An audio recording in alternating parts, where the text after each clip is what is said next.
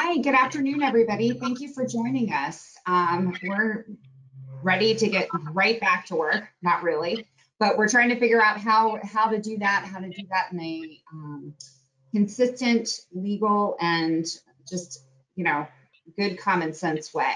So we're joined today. We have some excellent SMEs who will share their great advice with you. Let's get kicked off with some uh, introductions. Nicole, why don't you tell us who you are? And Hey, tell us a little bit about your firm. Yeah, I'm Nicole Atallah. I'm a partner at PilieroMazza. Um, we have offices in DC, Annapolis, and in Den outside of Denver, Colorado, and Boulder. Um, we, you know, have a broad range of practice areas, but our primary practice um, focus is for government contractors, although we have a wide range of commercial clients as well. And um, we're just very excited to be here. We've been doing a lot of work in this area, as you can imagine, in the labor and employment practice group, but also um, our corporate GovCon and litigation groups have been busy trying to figure out all this new legislation as well. So um, I've been a partner at PilieroMazza and, and a, I, a part of the firm going on nine years now, and very excited to be here to talk to you about this today. Sarah? Thank. Yeah, so I'm Sarah Nash. I work alongside Nicole in the labor and employment practice. I've been with the firm for about three years now. And as she mentioned, we do a lot of work with government contractors.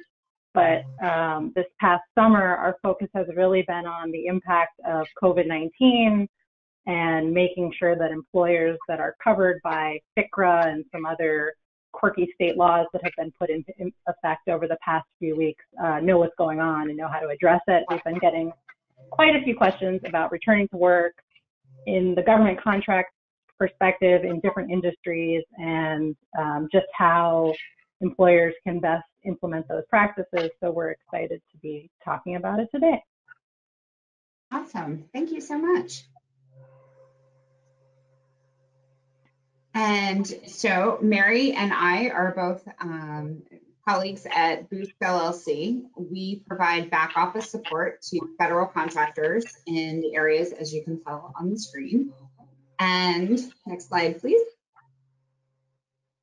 My name is Stephanie Alexander, and I am the founder and CEO of Boost. I am it's me on none of this, I promise. So I'm going to be asking the hard questions of our panelists. I've already warned them that I hate the answer, it depends, even though we know that they're going to say that because, you know, they do. Yeah, yeah. and I'm uh, coming from the perspective of probably uh, more as a small business um, in terms of what are the risks, what's the liability, what's the best practice, what are things that we can we can do um, to make our employees feel safe, to make our clients feel safe, etc.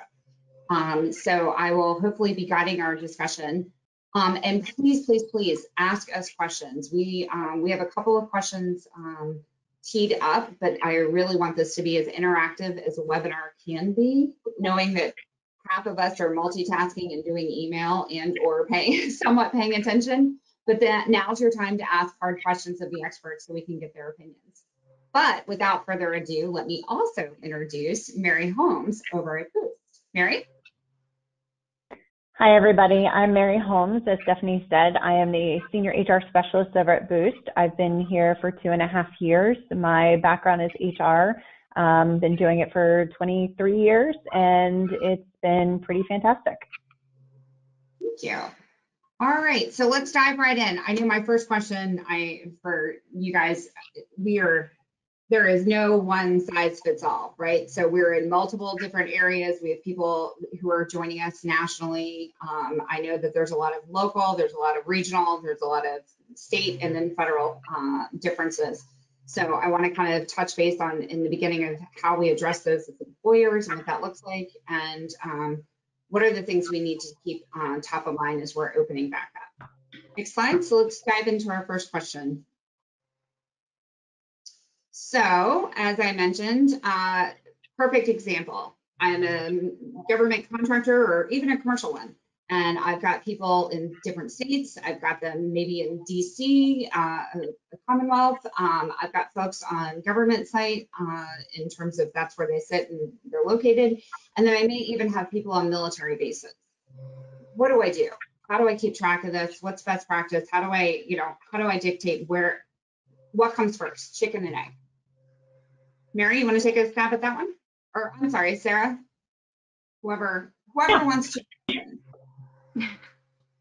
Happy to. Um, I'm sure Nicole will have some thoughts as well. And Mary, if you have any um, added things that I missed, please join in. This is a collaborative effort. Uh, so as Stephanie mentioned, this, this is one of those no one size fits all uh, requirements. First of all, you've got 50 different states uh, with 50 different requirements and guidelines at this point, not to mention the many localities that have also legislated on their own.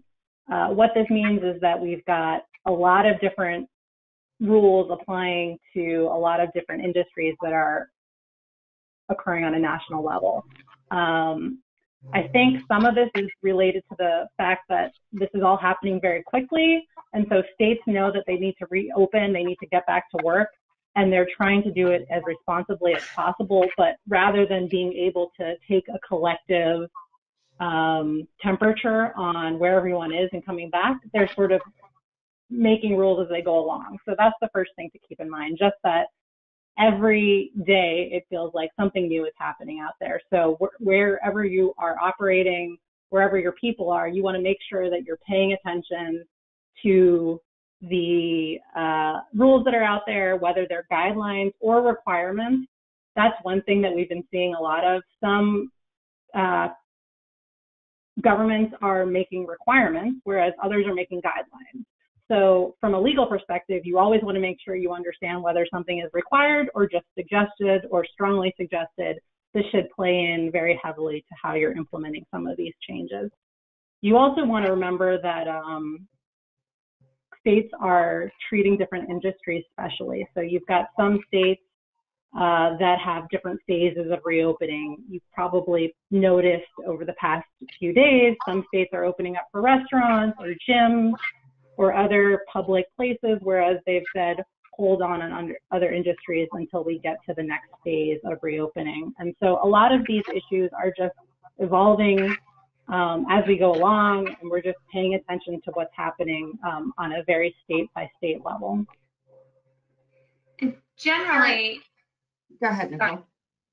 generally, I like to tell clients to write, just take a second, pause, and write down the different localities that you need to check into because it's hard to keep track. Um, and just like when you when you're opening an office in different places or you have employees in different places, sometimes we forget, oh yeah, we just hired this person in West Virginia. Now we need to comply with West Virginia law. It's the same kind of thing. You can't just assume that it's only OSHA and the Department of Labor on the federal level that you have to look at. Um, you have to look at the states, the localities. So write them all down.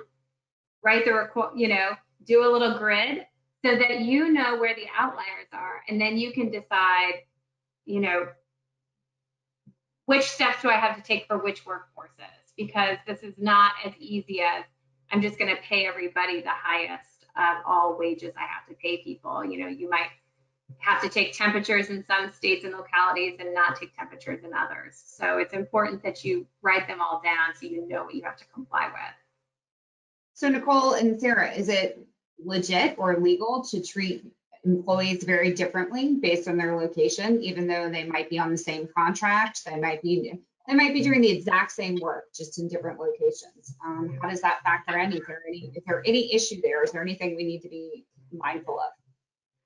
We're always concerned about treating employees differently, right? But the question is on what basis? And here there's a legitimate business reason for treating people differently. We'd be more concerned if you said it's the same, if, if a client said it's the same state, the same type of work, it's the same, you know, everything, except we're going to take temperatures of people on the fourth floor and we're not going to take temperatures of people on the eighth floor. Well, then the question is why? On what legitimate basis do we have to treat different people differently? And we don't want that turned into some sort of discrimination lawsuit, right? Or other type of lawsuit. But if it's because they're in a different location that has different requirements, that's a legitimate business reason. Okay, You also so want to remember Go ahead. I was just going to say that there are reasons that different states have different requirements. And so COVID, the COVID crisis, for example, in New York is probably look a whole lot different from how it might be in Texas or maybe a more rural state. And so presumably, hopefully localities and governments are considering the different risks involved when they're making these rules. So it makes sense to sort of tailor them to what's going on in your area. So this is a hard question that came from the audience and, and it's the first thing that jumped at my mind. Nicole, I think it's great, practical advice, right? Write down wherever, you look at all the locations that you actually have employees. But how do I find the best resource or the current guidelines for each of these areas? If I'm in 40 states, please tell me, is there one place I can just get all the information? You know, And I am think I know sure. answer to this. yeah, I mean, I am sure there is some bright person out there with a little bit of extra time that might be compiling these things um, in a chart. We certainly have not done that yet. You know, we have these nifty tools that we can sometimes run reports. I don't even know if that tool has done it yet. Um, so it is often just the hard work of writing down the states and Google searching, you know, order in, you know, North Dakota, order in, you know, and just kind of running down the list. Of course, we're doing a lot of that for clients, helping them navigate that to make sure they have the best policy. But sometimes it's an hour or two at your computer right now. But I'm, I'm sure, you know, at some point somebody will compile all of those. I just haven't seen it yet. That's, I knew that was going to be the answer. Sadly, there's no easy button and no big Google that we can just be like, and here, magically, everything's in one place for all the things you need to know.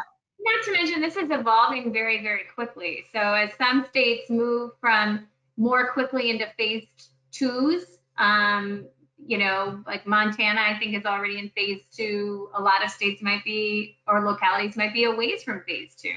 So Yeah. the other challenge in this is keeping track of when those localities move into different phases such that the requirements change.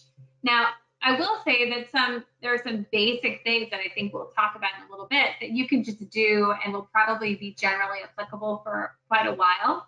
So, you know, it's uh, hopefully it's a short-term problem just to keep track of oh, I can open in this place and I can't open in this place. And if I open in this place during this phase, I have to take temperatures, but in this place I don't. How do I do that? So I'm hoping that's a more short-term problem. And then there's going to be the longer policy decisions um, that I think we'll talk about here in a little bit.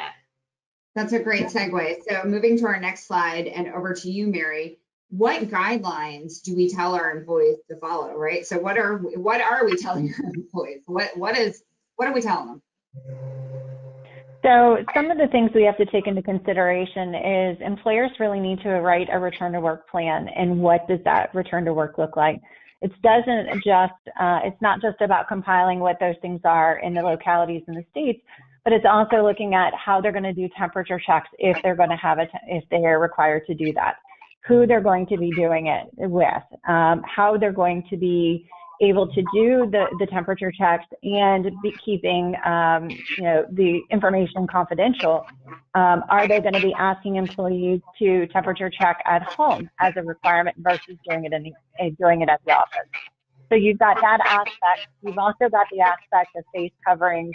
What is your as an employer what are you going to do going to answer the question what are you going to do are you required by the state or other locality to mandate it to provide those face coverings as an employer? Or is this something that you're just going to recommend in certain places and locations?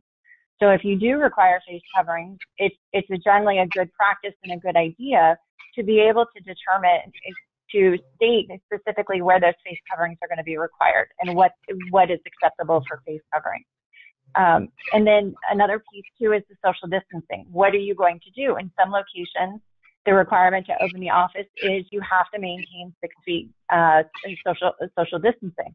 How are you going to do that? Are you now? Are you also required to put up shields and keep people from, especially in higher risk industries, going to keep them from interacting with other individuals? So those are some things to definitely keep into consideration when you're developing guidelines in a return to work plan. Before you even get in there. So what are some best, next question, what are some best policies to have in place before the people actually, your employees are back on, on site? So you definitely want to put in, like I said, a return to work plan uh, and write a, a, a policy and a procedure on how you're going to do the temperature checks. Are you going to require, again, are you going to require it at home? Um, and then you have to take the employee's word for it if they say that they don't have a temperature over 100.4. Are you going to require, is it going to be a policy to require them to complete a uh, form, a questionnaire, which is, is acceptable um, under EEOC guidelines to ask employees to do that. Um, so it, it's it's really writing that return to work plan and having those pieces of those policies and procedures in place in order to be effective and to make sure that you're not discriminating against any protected class. Gotcha. Nicole, Sarah, any additions to that? Yeah, this just I feel like kind of a broken record, and this is diving right into your "it depends" answer that everyone Oh, hates here who's not a lawyer. lawyer talk. Go ahead. Unfortunately, uh, it's sort of what we do. So I think every business needs to think about this from a very practical, what do I need to perform my work? What do I need to run my business? And if you're going in saying things are going to go back to normal, it's going to be exactly how it was. I want everyone at their desk at the same time every morning producing work in the same way. I think that's where you're really going to run into problems on this. And so as you evaluate your return to work policy, you really want to be thinking about how your business can still operate. Because remember, in some instances, people have been working remotely for the past three months, right? And so you need to look at what pop, what, problems you may have run into as a remote uh, workforce, what you can continue to do remotely versus what you might need people to do to come into the office. And ideally, you'll be able to phase people in in a way that sort of addresses your business concerns, but also still addresses the fact that there is an ongoing pandemic and people really need to be able to um, adjust and uh, be flexible to deal with those new issues that are going to come up. The only other thing that I, I personally wanted to add is it's a great example of how these things fluctuate state to state. In a lot of states, and according to um, federal compliance agencies, 100.4 is the temperature under which employees can come back to work. However, there are some states that have different numbers even, so 99.9 I've seen, 100.1. So there's there's no right answer here, right? But states are trying to figure out how to work this all together. So this is just another reminder to look at see if there are requirements. The other thing that I'll remind people is that people who have uh, COVID aren't always they don't always have fevers, right? There's there's a number of symptoms. So you just want to make sure that you educate your workforce on the symptoms of COVID, how they should respond if they do experience those symptoms, make sure that you're updating your sick leave policies to address um, employees who need to stay home when they're suffering from a cough or um, other respiratory symptoms and making sure that you address those so that everybody's on the same page about how they respond if they do come down with some of these symptoms. All right, so my next question is twofold. All right, I go back and somebody does have COVID. What what next? What are my obligations? Who do I have to report to whom? How do we handle it with the employees because they're everybody's back now? You know, Susie Joe has COVID, and who knows about it? And can we say that it's Susie Joe, or you know, what what is our contact? You know, what what is our obligation as an employer? And then on the other side of that, again, the other kind of um, the other perspective is what if I have employees who do not feel comfortable coming back to the office and do not, you know, despite the fact that we work on government site or we work on a military base or we work, you know, somewhere where maybe as an employer it's not my 100% my call. Um, what do I do with these employees? So if you guys can tackle it um, from both perspectives, oh gosh, somebody's already sick, what do we do? And oh gosh, somebody's really scared of getting sick and does not want to come back then. Um, and then for the couple people on the Q&A, I will definitely get back to you. I know we have some travel questions that we'll address as well. So one of the things from an HR standpoint that you have to keep in mind if somebody does have COVID is you have to maintain uh, confidential information. If if you need to report it to the employees, it has to be that they may have come in contact with that em- employee that has COVID. So it's important, again, it's important to keep that PHI information confidential. And if there is somebody that's reported COVID and you have the documentation, it needs to be maintained in a, a medical record file separate from the personnel file. Yeah, and I always like to think about um, this in terms of how much does that person or another person really need to know in order to protect themselves? So let's just say, for example, that you have somebody that tested positive and you you determine because um, you've been keeping logs or you know or they told you that they were on the second floor that they just went into their office. So they came and went and that's it. They didn't see anybody else and you don't know of anybody else that was in the office that day and nobody's been in the office since.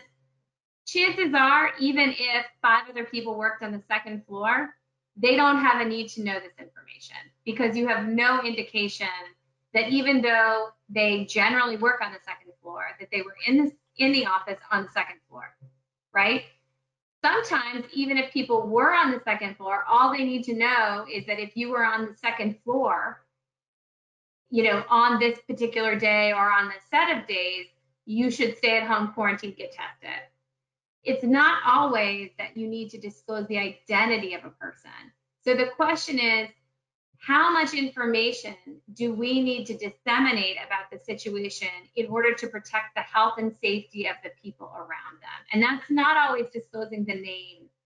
That could just be disclosing location. Yeah. I think the tendency is also to support our coworkers, right? And so sometimes it's, well, we want to be supportive, so shouldn't we let some people know so we can check up on the person or send them flowers? Right. No, we can't do that, unfortunately. Um, even if we we have to be supportive through our HR folks or the people that have a need to know that information. So I always ask the question, what do we have to disclose and to whom do we have to disclose it in order to protect our workforce?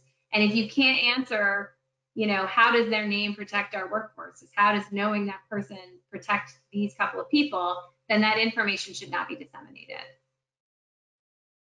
Okay, that's fair. What's the other side of um, it in terms of if an employee doesn't want to come back to work? What, what, as the employer, what can I do? What do I have to do? What's my obligation here? And then I'm going to get into if they catch it at work and our legal obligation.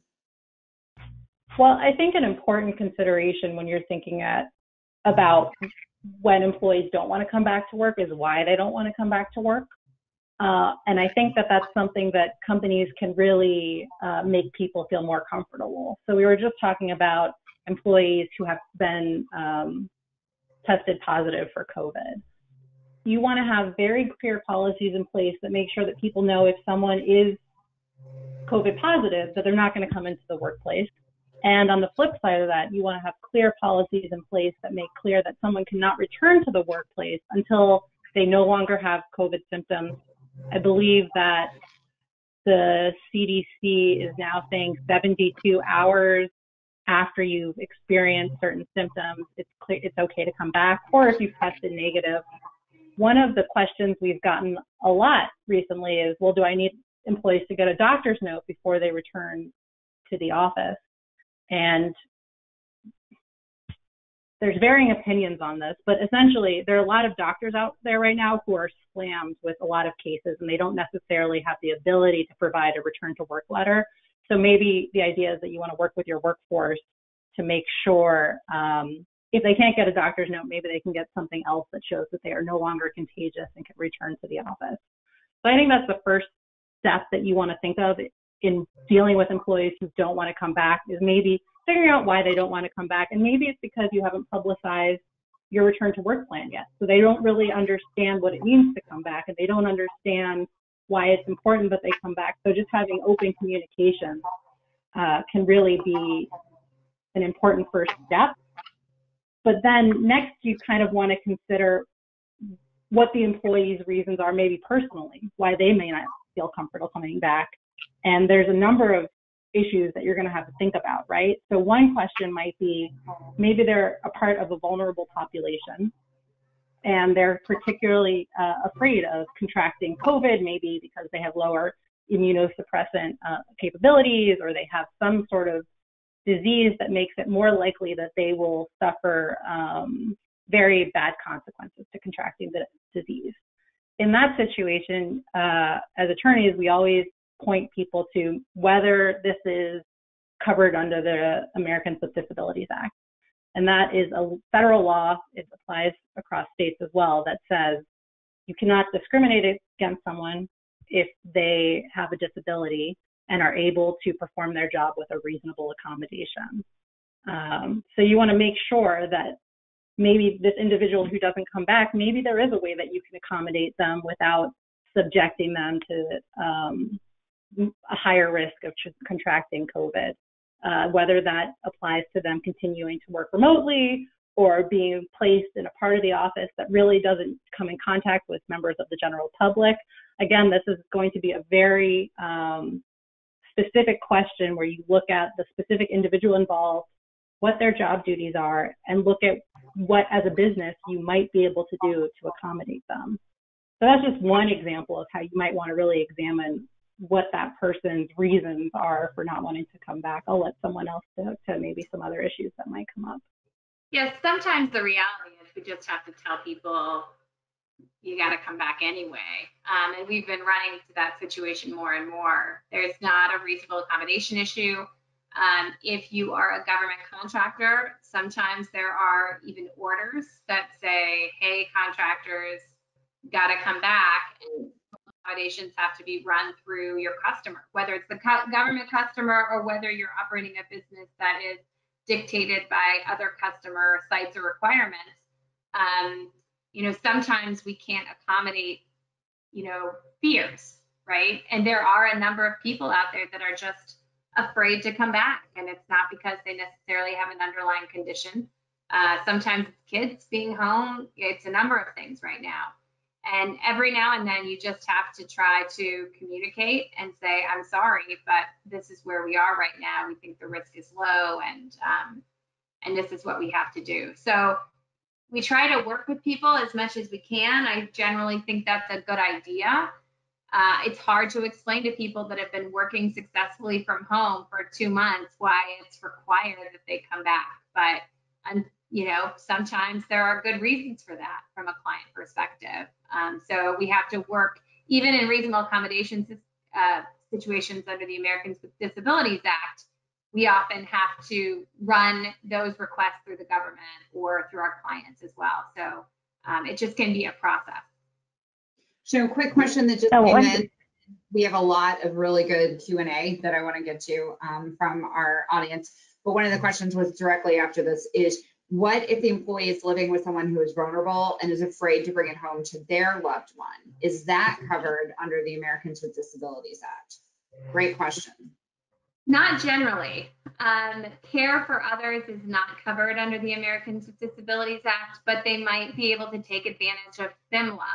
Um, so it's a little bit of a stretchy situation, but there might be situations where they can say, look, I am responsible for the care of a family member, immediate family member that has some sort of disability, um, and therefore I need to take a leave of absence.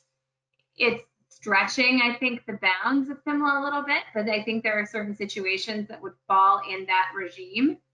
Um, certainly, if there's a COVID related reason, they may fall under the FFCRA relief. That might be an option for care of a family member as well. But those are all limited leave situations um, and not necessarily required telework situations. So what if the government says, don't care, get in here, right? And you have an employee who doesn't feel comfortable to address another question. They're just not comfortable coming in. Um, and some of the some of the work that people do, you know, you are required to be on site and it cannot be done remotely.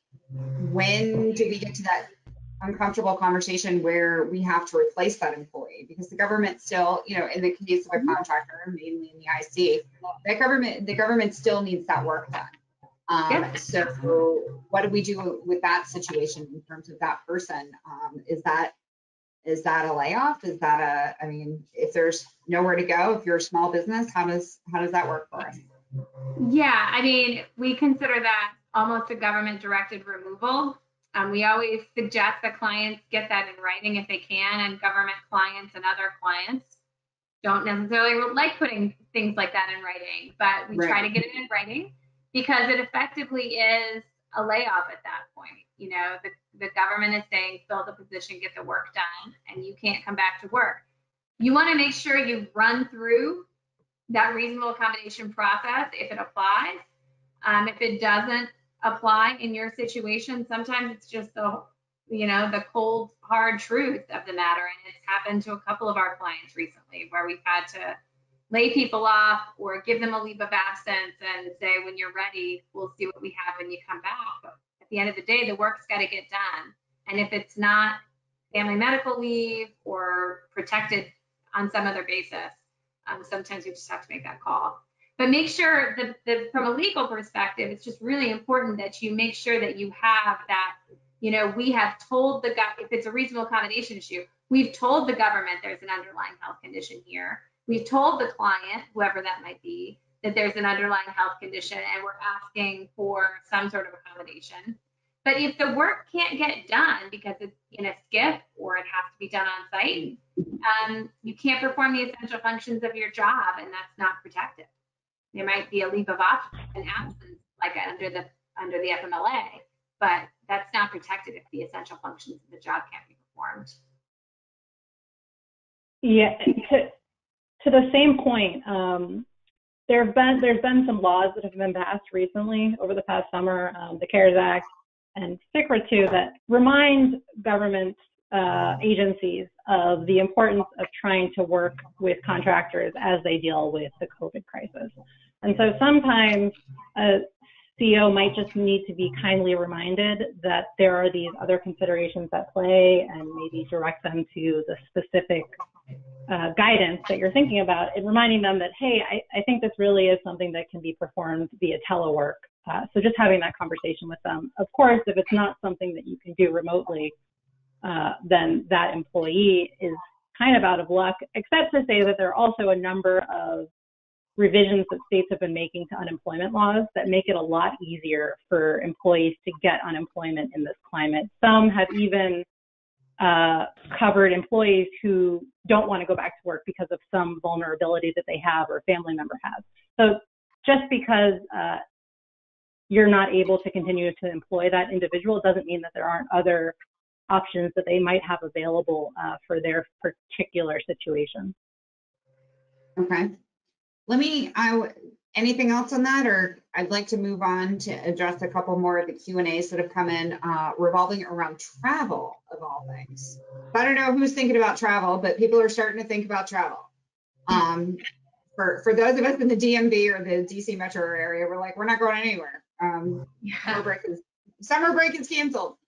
Um, but we have a couple questions. So let me just give you a couple of the questions and you guys can jump in and, because they're all kind of tied to the, to the same theme. Uh, one person has asked for developing a travel policy with employees in 10 different states, domestic, international. You know, what do we do in terms of best practices or criteria for coming up with a flexible policy? Another has mentioned something about having the government is mandating travel for your, I guess, for your work um, and what that looks like. And, you know, can they do that? Should they do that? Um, what does that look like? Um, let me see what else we have. Um, and what is the light? And then there's another one on um, liability uh, as contractors um, in case that should happen, and then contact tracing. So let's address those couple travel questions first, and then get into maybe more of the contact uh, contact tracing and what we're what we're obligated to do there, um, and what that looks like. So anything on travel? Like I said, for some of us, that's a foreign concept right now, but it's coming. Well, I mean, Generally, what, oh yeah, go ahead. go ahead, Sarah. I won't step on you. I was just going to say we've had a lot of, we haven't had as many people ready to go back to travel yet. We have had some clients who have asked us about employees who want to travel and how they deal with that and sort of increased exposure risks. But generally, the guidance that we've been seeing is that you should leave, if possible, leave the option for travel um, closed for the time being. Obviously, there are a lot of this is this comes down to one of those same questions of what do I need to sustain my business? If my client is requiring that I travel as part of the services that I provide. Obviously, that's one question versus I just think it would be really cool if we could all get together this summer and have one big meeting. Maybe that's a different question that you want to consider. So again, it takes you back. I sound like a broken record, but to this consideration, what do I need to perform my work? What do I need to uh, make sure that I'm delivering on the promises that I've made to customers or clients?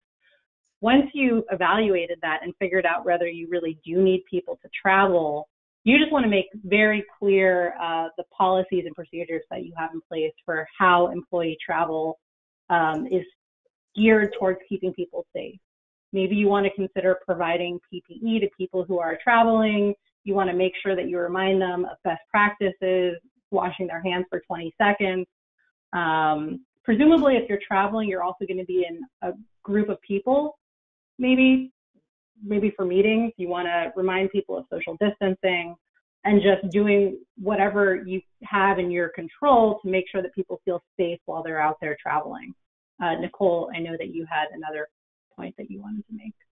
Yeah, I think I saw some uh, some comment about government required travel and that uh, and how that intersects with state um, guidelines and requirements. And so, if there are situations where essentially your contract with the government is changed because your costs are changing due to having to take these extra precautions, I do think there's room to at least make a straight faced argument that you should be entitled to some sort of equitable adjustment for those unanticipated costs because it's an effective change to the requirements of your contract, particularly if those requirements are being imposed by the government customer as opposed to a state. Sometimes we're just stuck with whatever states come up with by law, like if they magically change a um, minimum wage law or something like that but I, I think that it would, you know, if you are in that situation where your costs have changed because now all of a sudden you have to get people tested and it has to be rapid testing and there's only so many places you can send people. Right. and that's not necessarily covered by their insurance or you've got to get people tested when they come back or the cost of travel changes. Um, to some destinations particularly international destinations the cost of travel is extremely high for the next probably couple of months you know, in some cases, two, three thousand, and four thousand dollars one way. Um, I think there is a decent argument for for a, a claim or an adjustment, depending on the factual circumstances of your case. Um, you're also, I'm sure, going to get anxiety over traveling, right? That uh, folks are being told they have to travel, and it's kind of the same discussion as we were had earlier. That sometimes we're just going to have to say, this is what you can do to protect yourself. Um, you don't want to fly. Maybe it's close enough that an employee says they want to drive. And then we're talking about compensable time and, and things like that under the Fair Labor Standards Act. What do we have to pay for? What do we not have to pay for? Uh, particularly if the person's an hourly employee. So this certainly adds some layers to to work travel for sure. No kidding. And then one Uh-huh. thing to keep in mind too is is the fact that if an individual is traveling and they come in contact with somebody and they actually get COVID, now you're uh, now you have to report with OSHA if you're certain in certain high risk NAICS codes, um, and and that has to be reported on your 300A. There's also that concern that if somebody goes out and they have um, have complications, there could also be the case for workman's comp.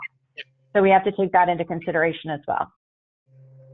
That's a great segue. So in terms of, you know, one of the questions that we had come in was, okay, if they mandated travel and then they got COVID, right? Like what is our legal obligation? What, what's our liability? So what's our liability if someone catches it both just on our site and what's our liability if they catch it on, you know, kind of mandated um, travel, if you will, as employers? Like where, do we know where this is going to fall yet?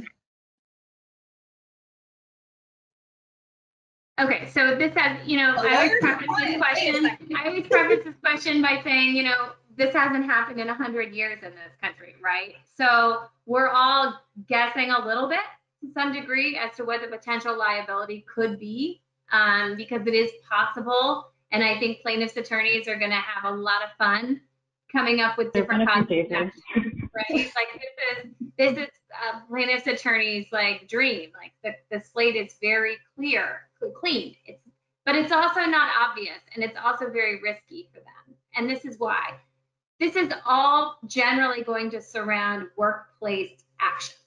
And workplace actions are generally going to be covered by workers' comp, um, or it's going to be limited to complaints to an agency.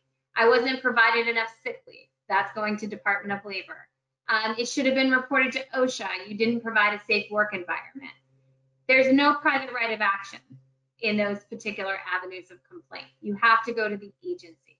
So you might see an uptick there. Workers' comp is covered by the state regulation that governs workers' comp, um, and that is covered by insurance. So risk is relatively low. There could be situations where someone claims gross negligence or something that might fall outside of those statutory regimes. But right now, we believe the risk to employers is relatively low, just like it would be, frankly, if somebody contracted pneumonia on a plane, um, you know, two years ago and ended up sick. There, you know, generally speaking, there would not be a private right of action for that, even even if death occurred while traveling. That would that would be covered by comp or by an OSHA claim or something like that. So could it happen that you are facing a private lawsuit? Certainly, it could. And we don't know exactly how courts would come out, but based on what we have available to us as far as precedents in the courts from other situations, the way we've dealt with illness and society and work in the first place, we believe that risk is going to be fairly fairly low and limited um, to government agencies, workers' comp, OSHA, Department of Labor, um, and state state agencies could be implicated as well. That is And remember, framework. just because, That's oh, the big sorry, question, Stephanie. right? Is employee liab- liability? Is am I going to get sued? What's going to happen? I mean, that's a we should honestly we should start with that because that's honestly where everybody's heads are kind of at. So sorry we buried the lead, everybody, but we got there and we got somewhat of an answer out of them. Go ahead, Sarah. Well, remember, right? There's a there's a difference between can I get sued and can I get sued with a actual meritorious claim. And so we have a court system where employees can go to court, they can sue you for all kinds of fun things. And there are a number of lawsuits out there already where employees have tried to pin their employer to the wall. Um, it doesn't mean that they actually have a good case, right? It also doesn't mean that that's the only thing you have to look out for. With all of these new laws and requirements out there, there are a lot of new guidelines that just because an employee can't necessarily sue you for not following them doesn't mean that someone else can't come, DOL, OSHA, and have very real consequences for failing to implement those requirements. And so it's important to, just because your employees maybe can't necessarily sue you doesn't mean that you're not on the hook for other sort of legal compliance issues.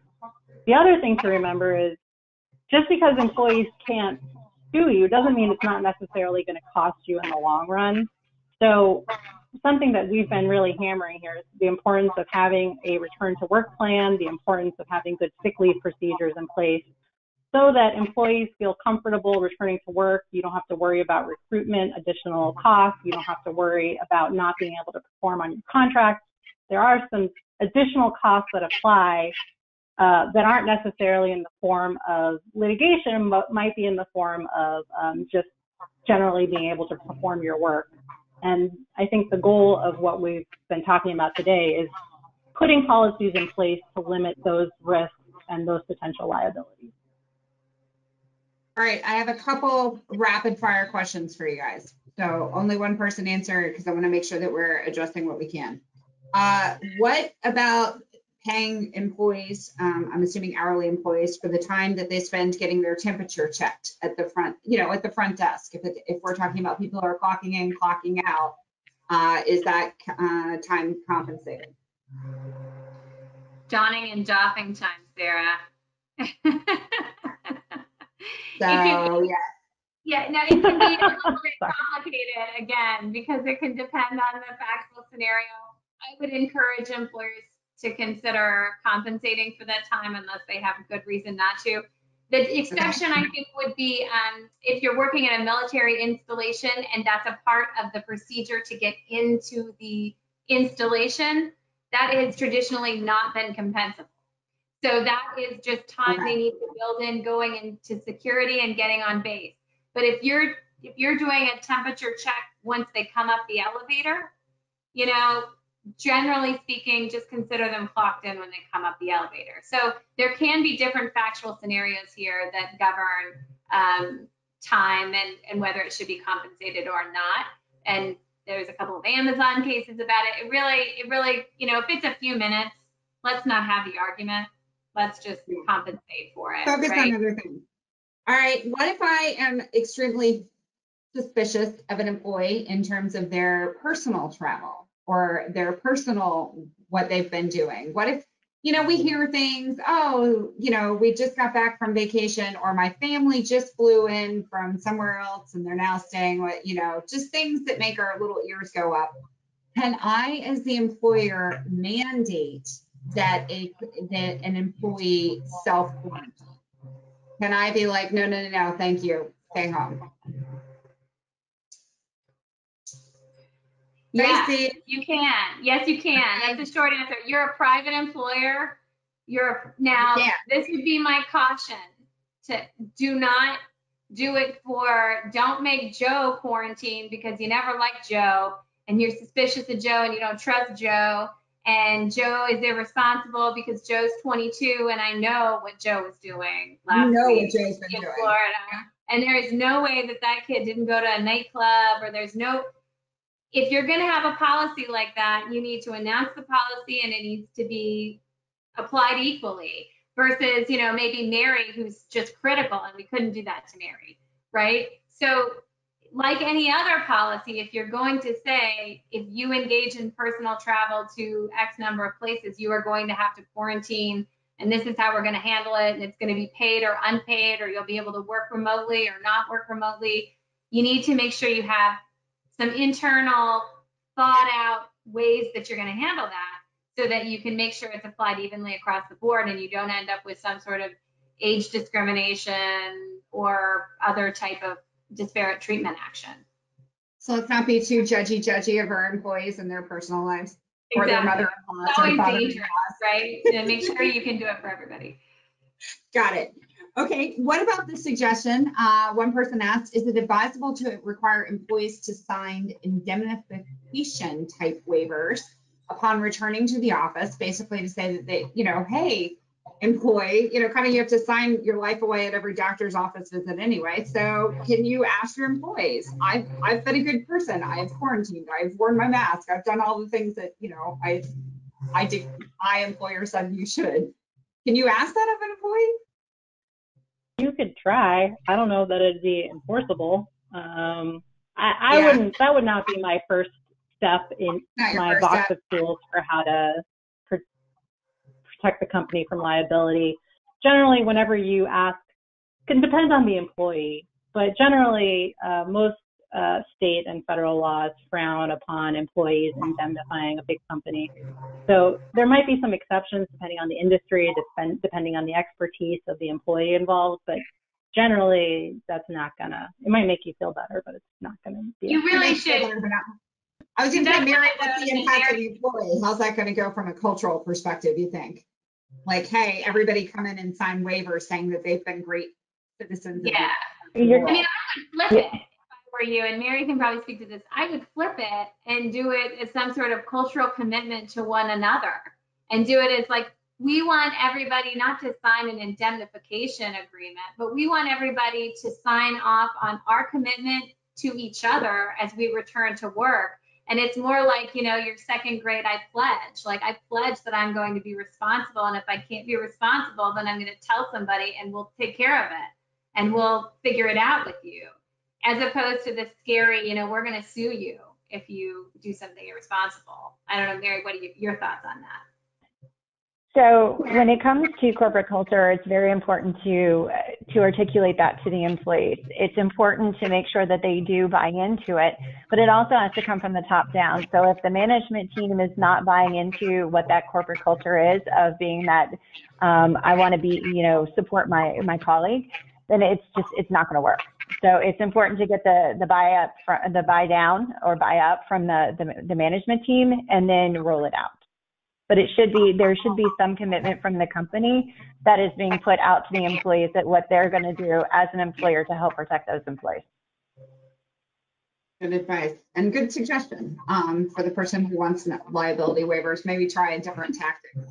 All right, for um, our audience, please get those last minute questions in. We're going to be wrapping up in the next 10 minutes. I've got a couple more, but um, if you've got anything, now's your chance.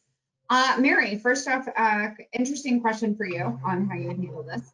Um, and I, I, appreciate this question. Um, so can you do anything about employees wearing masks with potentially you know, different sayings on them. And that could be political, it could be religious, it could, it, it could be anything. Because let's face it, we'll print anything on a mask these days. It's a new thing. Um, so what are our thoughts on that? What can you what can you do with that? Well, from my perspective as an HR professional, I would strongly encourage that they be plain and that as an employer, that if you're requiring the mask, that you provide those masks to the employee. Um, I think that you could run afoul of, um, of you know, and, and maybe Nicole or Sarah can talk to this. You have to be careful about the religious accommodations, but at the same time, you have to be respectful of other people in the workplace. Yeah, there's also, you know, look at your handbooks for any policy that you already have on insignia. Um, you know, t-shirt insignia, buttons, okay. things like that. It can also implicate um, the NLR, the National Labor Relations Act, the way that you roll out that policy. So you don't often want to have a we don't allow any insignia at all anywhere because that can run afoul of the NLRA. But you should generally be following the same insignia policy that you have. You know, someone I suppose could people get real cute. You know, they could wear their plain mask that the employer gives them and then throw their button on it, you know, just to be cute. So you want to make sure that you don't run afoul of the National Labor Relations Act, that you have a good insignia policy, just like a solicitation policy, right? Um, we don't want to just have something on paper that could get us into trouble, but um, but yeah, there's a lot out there. People like to wear their designs, and I don't always think that's bad. Just I would check your current handbook to see what you have for an insignia policy, and you, if you don't have one, maybe now is a good time to think about just a general policy as opposed to uh, targeting the mask specifically. The mask specifically. Okay. Um, one question that came up earlier that I just am getting to, what is the difference between a guideline and a requirement? Because the, the two seem, it's like sometimes it seems like they're the same, but they're not. And how do you tell the difference between the two and what you're really supposed to be following? Is there any general guidance here? Uh, so that's, that's a great question. And I have hit my head against the desk many times trying to understand whether something is a may or a must or a should. And I think that's really what it comes down to. As you're reading through guidelines, they will often include, depending on the state, requirements that are sort of hid in there.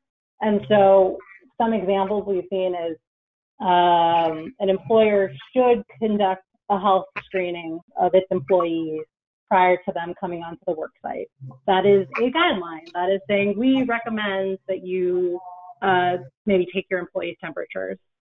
In other circumstances, we'll see a uh, requirement that says you must provide employees with face covering. Um, and so that's that's really the difference, whether it's an option or whether it's a requirement. And a lot of these state guidelines are ambiguous, but generally you're looking for the difference between that may, that should, or the must. And that's how you determine whether it's a requirement or not. And just because it says guideline on the top, it's kind of like tomato, tomato, right? The content is what really matters not okay. what they call it. Um, because you can have requirements that then, if you look at the language, there's a lot of shoulds or would recommend as opposed to must. So you really want to look at the content and see, okay, which pieces of this are a should and which are a must, and go from there. Okay. Last call for questions from our audience. I'm going to just go ahead and read these verbatim. I think I have addressed almost all of them, or at least as many as I can. And please, if anyone has a question that we did not address, feel free. You will, if we can uh, go ahead and push our uh, slides to our contact information, by all means, reach out to us on email, um, LinkedIn, whatever whatever makes sense um, for you. We will do our best to address all of them. Okay, if you have an employee who does not want to come back for non-protected reason, um, generally they're fe- fearful, etc. What are the risks of putting them on unprotected leave? I.e., can they let you know when they're ready to return? And if you happen to have an opening at that stage, then they can return. Thoughts Yeah, I on mean, that? I, I would feel co- completely comfortable assuming they don't have some sort of protected, you know, No FIMLA protected class, protected.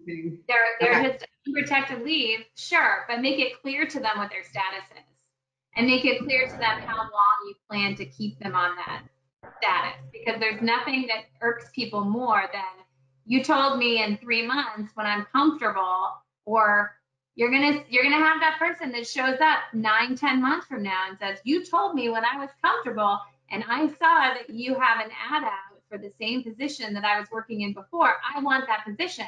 At the same time, you've interviewed like the best candidate in the entire world, and you don't want to give them that job. You want to give it to somebody else. It's going to happen to you, right? So make sure that you make it clear that we will consider you for a position if it's available. You know, maybe you don't have to go through the whole application process, but it's not just yours. Um, we don't want any sort of implied contractual right to a position to pop up. Um, so that's what you need to be very clear on what terms you would consider reinstating them to a position. Okay, And then I would suggest additionally taking a look at your policy in your handbook because in some situations I've seen organizations have a leave of absence policy. So I would I would address that because that would be very important um, to make sure that you're following that policy. Okay, good to know. One last question, and then I'm going to ask you each for your final thoughts. Um, can we have different policies on personal travel depending on the job function? Basically, if I'm a remote worker, I'm not going in anywhere. Can I travel wherever the heck I want because I'm not affecting my colleagues?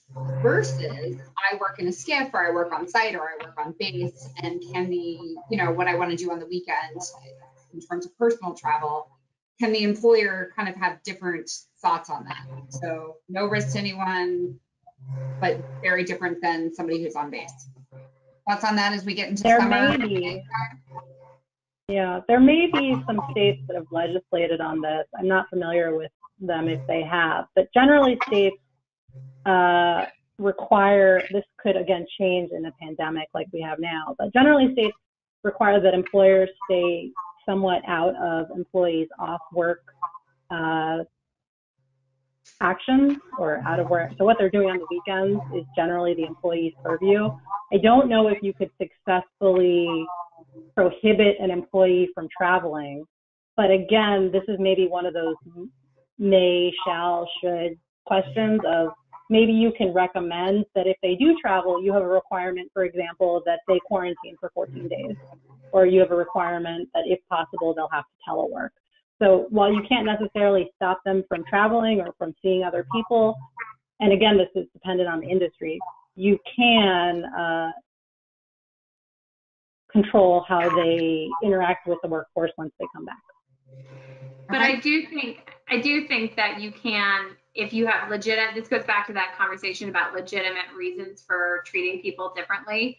So if you have one, one part of the workforce that is always teleworking and is not a health and safety risk to the other part of your workforce, you might have two different policies.